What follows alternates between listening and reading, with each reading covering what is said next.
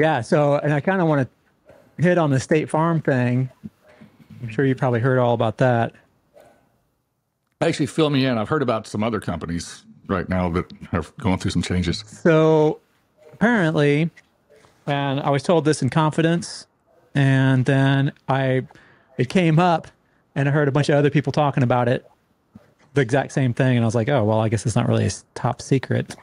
um, so I guess um, a big red company has uh, decided, in all of their wisdom, and there's, I think, you know, we can talk a little bit about the cycle of how, why this happens in a minute, but basically, um, an adjuster that I know has been doing this for a few years um, said that they were working on a State Farm gig, and um, they State Farm cut all the IAs like on one day. They were just like, "Okay, we're done with you guys. Wrap up what you got and get out of here. No more claims for you guys." And then through the grapevine, I hear on Facebook um, on a, in a heard, in a okay. group. I've heard about this.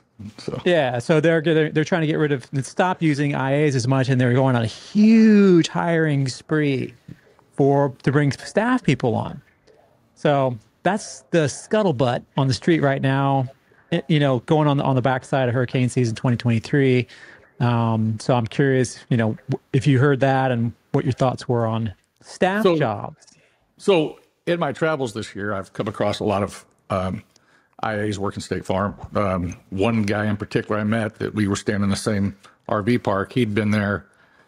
He had been there for months before I got there, and was still there when I left. Um, that's all he does is State Farm.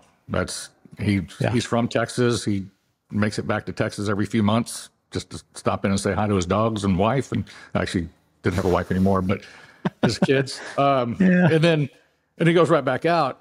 Uh, but he'd been in he'd been at one state for a long time. I don't want to say where it was because he uh, Sure.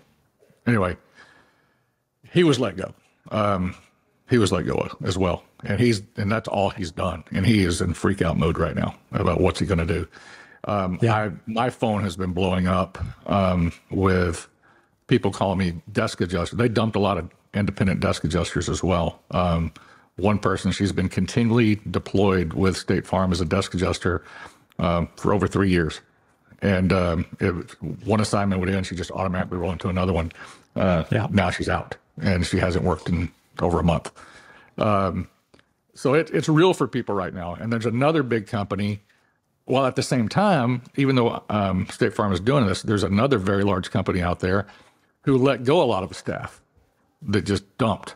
I mean, literally dumped a, a big portion of their their their their staff, and a lot of those people are being affected right now. So, I think some of those end up. A lot of those people get absorbed by the big red company uh, pretty fast, pretty easy.